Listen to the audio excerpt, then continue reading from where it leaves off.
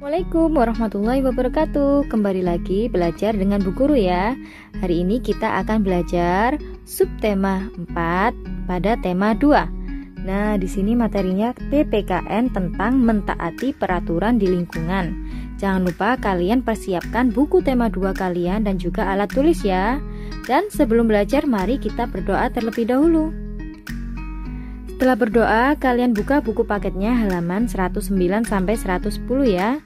Nah, di situ ada gambar yang menceritakan tentang bu guru dan juga siswanya. Mari kita membaca. Ikuti percakapan yang bergerak ya. Satu, dua, tiga. Dayu, Lani, apa itu sampah kalian yang berserakan? Kita tidak boleh membuang sampah sembarangan, apalagi di tempat umum.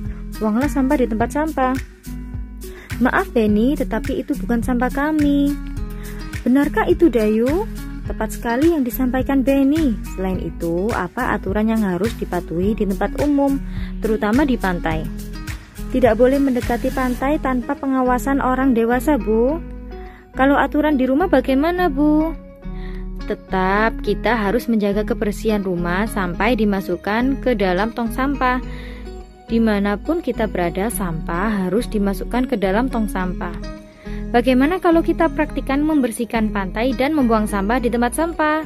Setelah selesai, kita akan bermain domba serigala. Hore!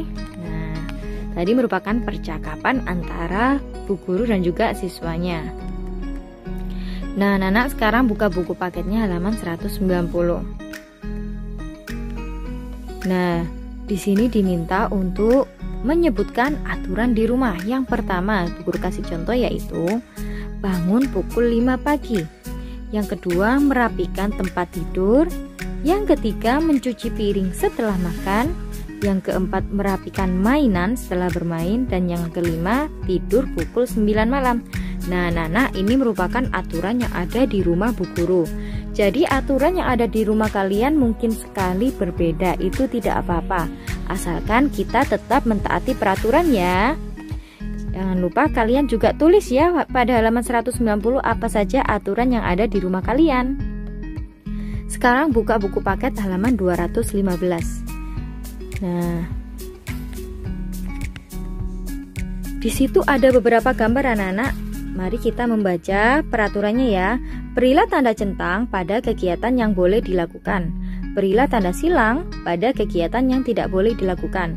Nah, mari perhatikan gambar nomor satu di situ.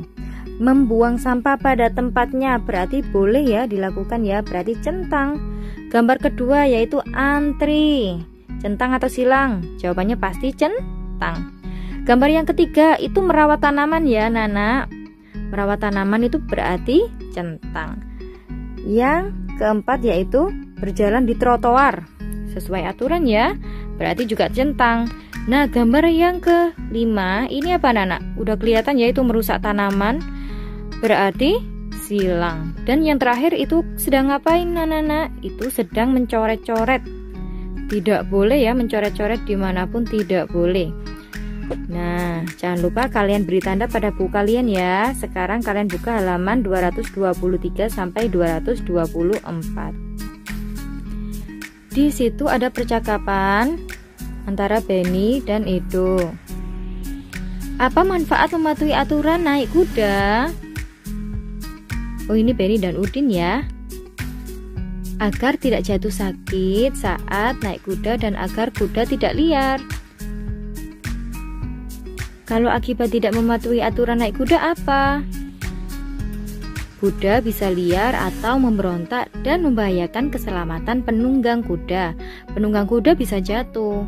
Nah, anak tadi yang ada pada percakapan mereka yaitu mentaati aturan naik kuda dan juga akibatnya apabila tidak mentaati aturannya ya.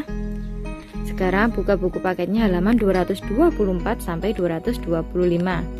Di situ ada pertanyaan satu, bagaimana manfaat mematuhi aturan di tempat wisata dalam kehidupan sehari-hari? Jawabannya yaitu agar lebih disiplin dan lingkungan lebih terjaga.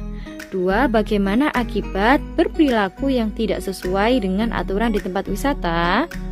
Lingkungan jadi tidak terjaga dan tidak nyaman. Tiga, bagaimana manfaat mematuhi aturan di rumah dalam kehidupan sehari-hari? Pastinya rumah menjadi lebih nyaman dan tentram ya. Yang terakhir, bagaimana akibat yang tidak sesuai dengan aturan di rumah? Yaitu rumah menjadi lebih berantakan dan tidak rukun dengan keluarga. Nah, itu tadi merupakan penjelasan dari Bu Guru. Sekian pembelajaran dari Bu Guru, semoga bisa menjadi ilmu yang bermanfaat. Jangan lupa tetap semangat belajar ya, meskipun pada saat pandemi. Jangan lupa jaga kesehatan. Wassalamualaikum warahmatullahi wabarakatuh.